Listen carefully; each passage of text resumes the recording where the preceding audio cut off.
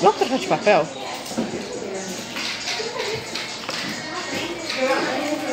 Ah, então, só tem que apertar.